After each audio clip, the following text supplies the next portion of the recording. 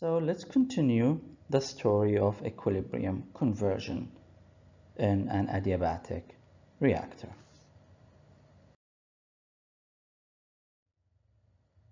However, now we're going to use our knowledge to make some money.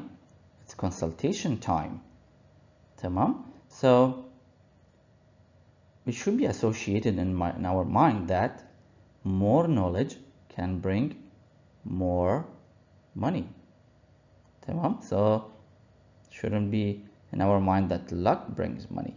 Tamam? And this is what's known as the knowledge based economy. And this is something which our leaders, Allah them, been talking about in the past decade that this region should now start making money not because we have oil but because we also have knowledge. That's why we have this vast quantity of a vast number of universities that have been established and they are all striving to become the best universities around the world. Okay so we're going to use our knowledge now to offer consultation to companies and in return we're going to get some money. So let's see. Assuming that the reaction kinetics is very fast so this reaction a goes to b is very fast reaction. The rate of reaction is fast.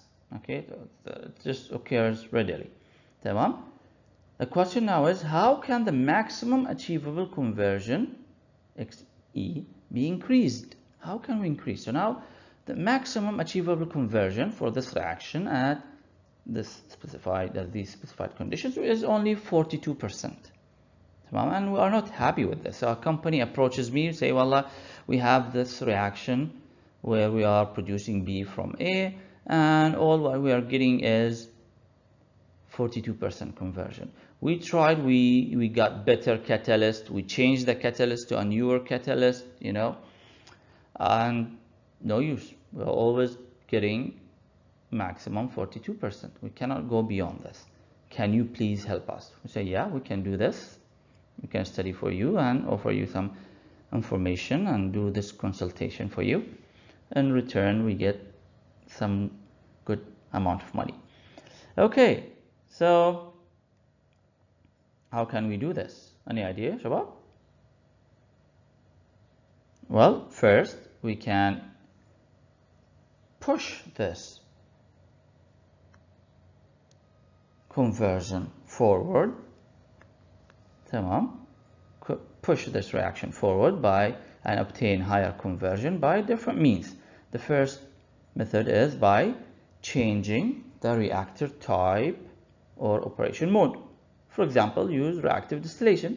Yani if B was very volatile tamam we can use reactive distillation. So we can heat up the reaction mixture and then B evaporates. So we have lower concentration of B in the reaction mixture and then the reaction will be shifted.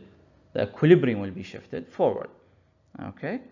And or we can use for example membrane reactor if B diffuses out okay? That's uh, one way okay? And see Shabab all all the methods that we're gonna suggest is related to thermodynamics because I know this the reaction is limited thermodynamically. The conversion is limited thermodynamically okay the reaction goes very fast in fact.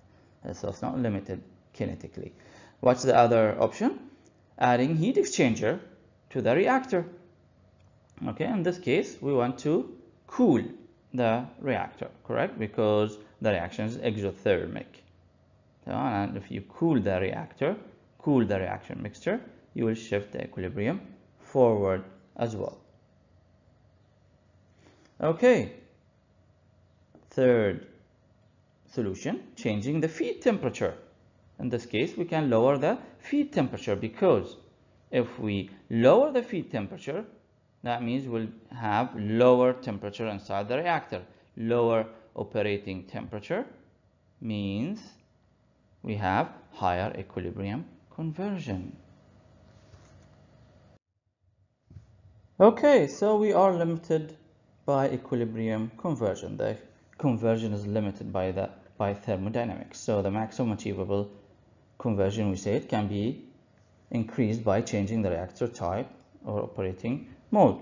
Okay, so what if other reactor types are not suitable? What are other operation modes are not suitable? For instance, what if A and B have same boiling point? What if we they have same almost sizes? Okay, so we cannot use membrane either. Okay, no reactive distillation, no membrane reactor will be helpful. Okay, so let's explore the second option, adding heat exchanger to the reactor. Okay, but reactions in industry are frequently carried out adiabatically. You know, it's uh, very common to run the reactions in adiabatic reactors and not worry about heat exchange in the reactor. But usually we use heat exchangers up upstream or downstream. So the reactors are often operated adiabatically. So what do you suggest to do? Therefore, we can employ what is known as reactor staging with interstage cooling or interstage heating. How does that work? Well, let's look at this. So instead of having one long plug flow reactor or packed bed reactor, we're gonna stage it. Stage one. Okay, stage one. This is stage 1 and then stage 2 and then stage 3 okay so again instead of having one long reactor now we're gonna chop it off into pieces into stages. And between between each two stages we'll have a heat exchanger that's why it's called enter. Enter stage. Enter stage means between, right? Between stages, like international, between nations, like internet, right? So connection between different servers and computers and so on. So in between, so in between these stages, we have coolers or heaters, heat exchangers. Tamam? So the flow passes, you know, through the first reactor and then goes so it passes through the first reactor and then goes through a heat exchanger. In this case because our reaction is exothermic we need to cool it. So we cool it down from 800 to 500 then again it enters the second stage with the same initial temperature here and then as the reaction progresses the temperature increases because the reactor is operated adiabatically and the reaction is exothermic so it gets out with a higher temperature and then again another interstage cooler. drop uh, reducing temperature to 500 degrees C again and then you have the third stage. Okay so now Shabab my question is okay uh, how would the XE versus T curve would look like? So would the XE which is function of Kc which is Kc's function of temperature curve change for the shown setup? Well obviously not. So it does not really it does not really change. Okay but let's see what changes. Okay so we are in the beginning here of the first stage. So we are here. Zero conversion. Tamam and as the reaction progresses down the length of the reactor. What happens to the temperature? The temperature increases right? Temperature increases as the reaction progresses means as the conversion increases. Okay and right before right before I reach the adiabatic equilibrium conversion tamam I stop here the reactor. Okay and take the reaction mixture through a cooler. So I cool it down to 500 degrees C again. See? And as you can see when I'm cooling shabab I'm not affecting the conversion. I'm maintaining the same conversion. Therefore I go back horizontally. I go back horizontally okay? Temperature is decreasing all the way to 500 degrees C again and now you introduce it to the second stage where you have the conversion starts here and then the conversion increases uh, at the same time the temperature increases as well. And right before I reach the adiabatic equilibrium conversion right before I hit the equilibrium line equilibrium conversion line again I take I stop the reactor here zoom up and take the reaction mixture through a heat exchanger. Down where we cool it down again to 500 degree C. Tamam.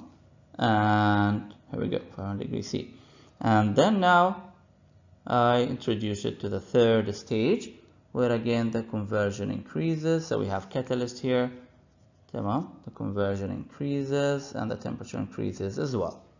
Okay so what's the benefit of this? Let's see what the benefit of this is. Okay, if we had used, if we had used only one reactor, okay, one reactor, then the maximum achievable conversion would be the adiabatic equilibrium conversion, right? The adiabatic equilibrium conversion, which could be around 0.4. Tamam?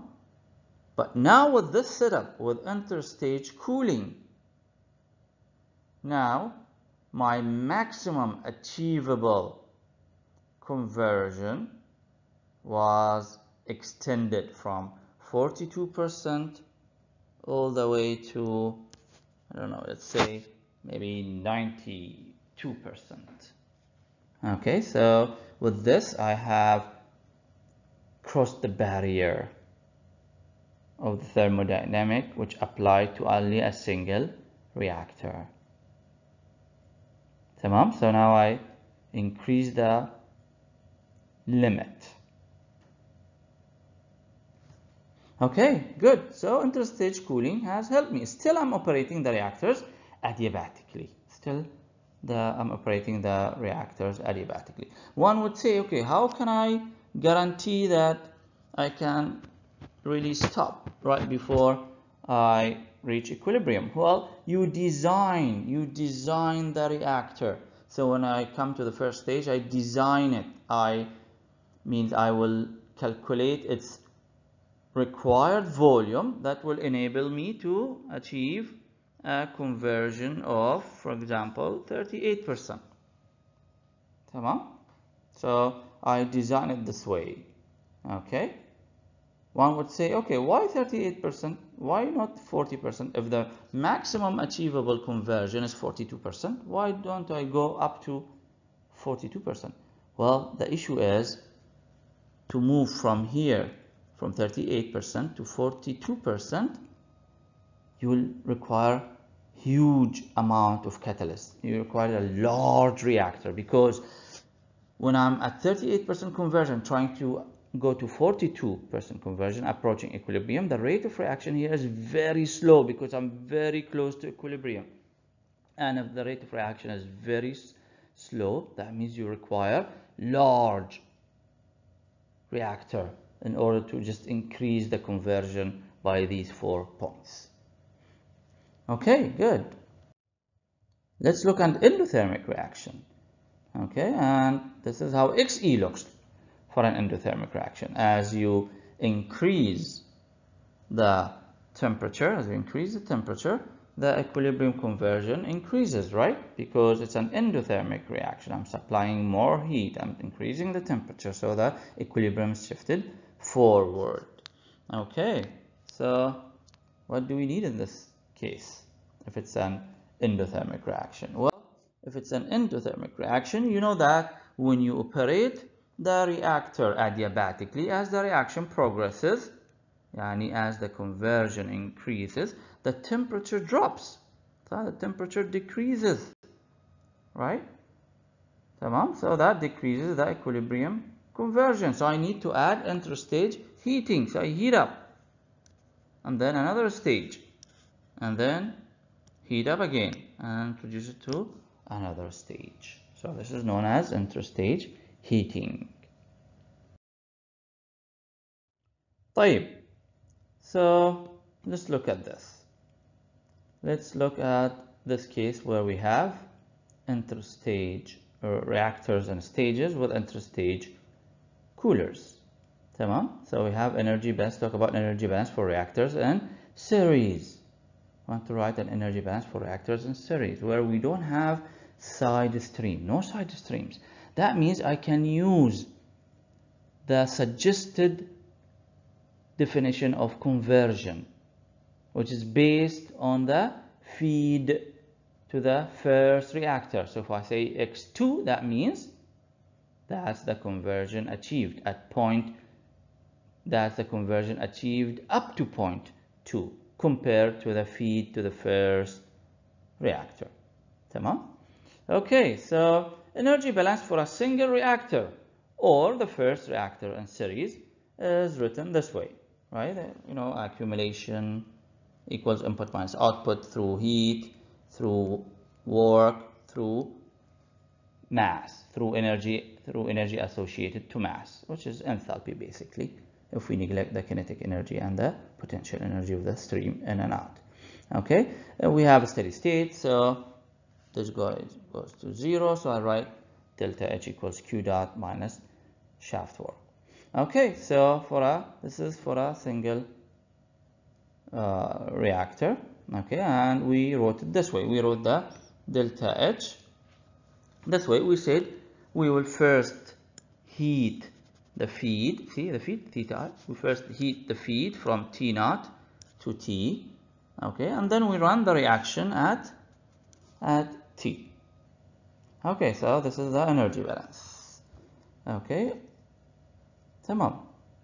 Very good, very good. Okay, what I'm gonna do now, what I'm gonna do now is multiply this guy, we'll take it inside. If you take this guy inside multiply by theta. You know the definition of theta, right? So theta i is simply f i naught over f a naught.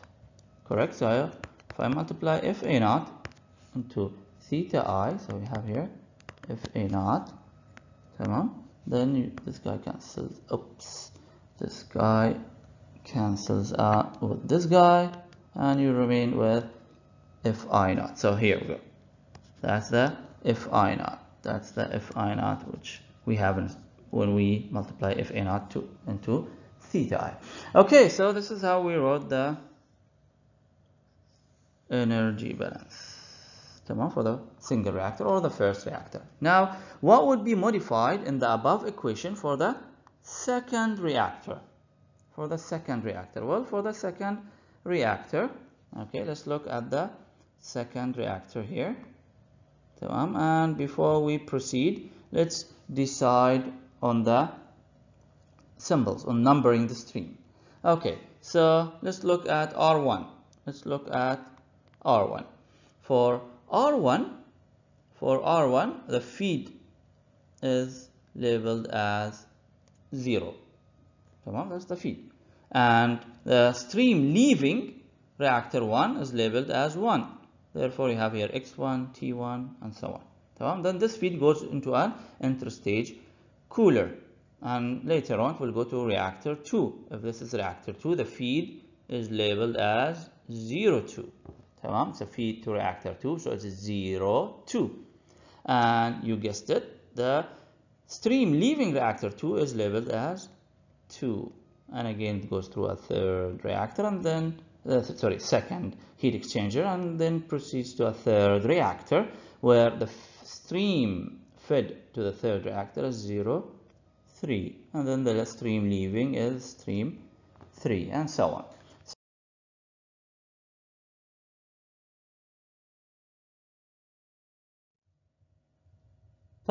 So now that we know all the labeling for the streams for the reactors, for the heat exchangers, and so on. Now that we wrote the first equation or the energy balance equation for the first reactor, let's now, before we go and write the energy balance for the second reactor, let's now actually modify this equation to write it for an nth reactor. Okay, so let's look at all each term and decide what would be changed. So we're talking about here in this term here we're talking about the feed to the reactor right? So I'm doing balance on the reactor so this represents the delta H the difference in enthalpy of the stream leaving the reactor compared to the stream entering the reactor. So the feed to the reactor tamam will not be fi naught it will be fi naught n tamam and the temperature of the stream leaving will be Tn but the temperature of the stream entering will be T0n right? For example T02 for example. Okay tamam. Okay good good. And what about what about this term? What about this term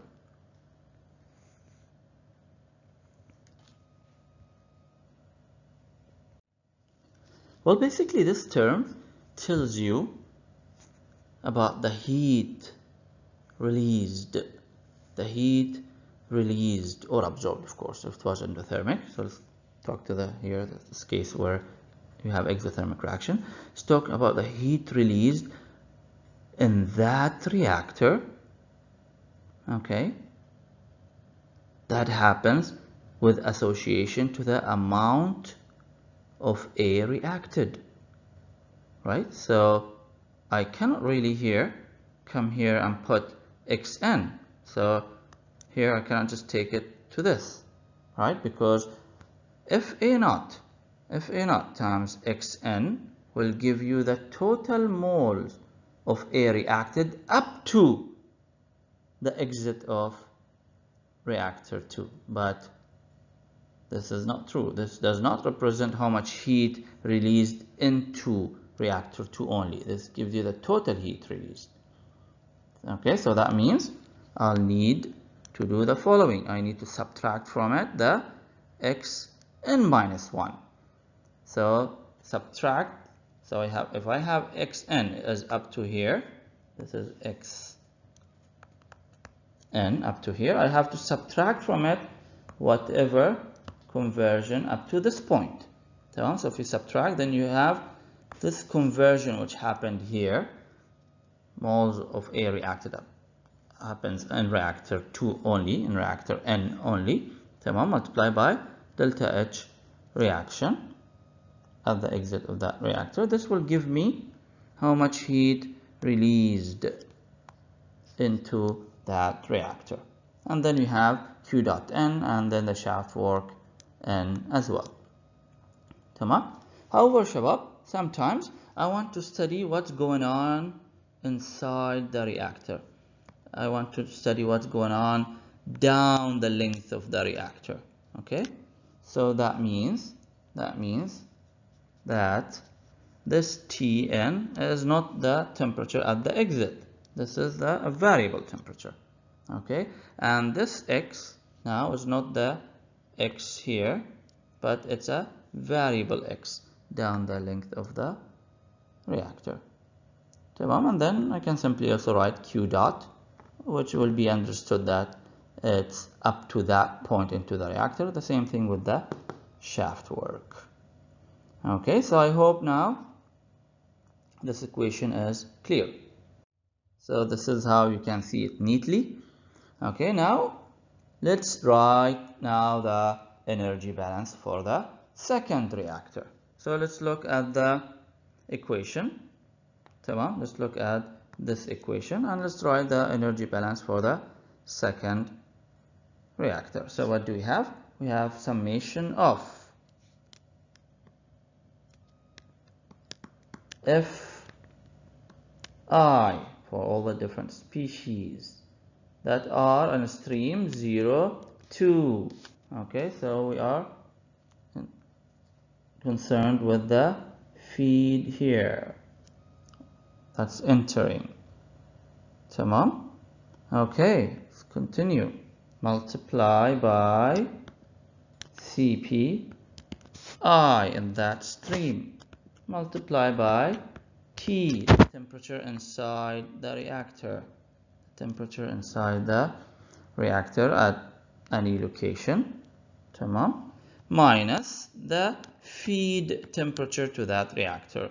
What's the feed temperature to that reactor? Well, it is T02, correct? It's T02. Then plus FA naught. Okay, maybe I should write the plus here.